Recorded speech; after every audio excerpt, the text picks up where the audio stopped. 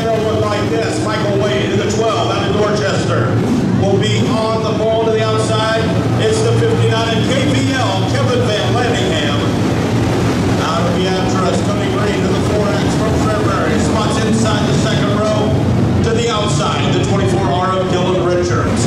Ryan Rashevsky, 2R, scheduled to start on the inside of row number three and to the outside of him, the 69 of Brendan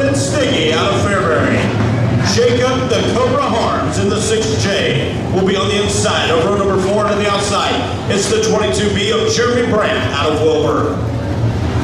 Michael Wade setting the pace for the field. And we're a no-go this time by.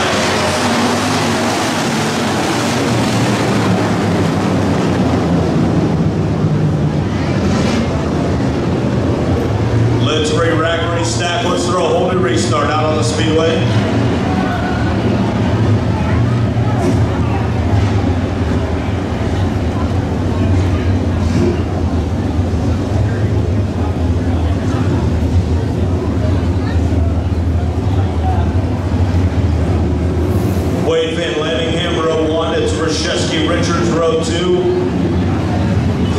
C, row three. Row four is green and brown. One to go side given from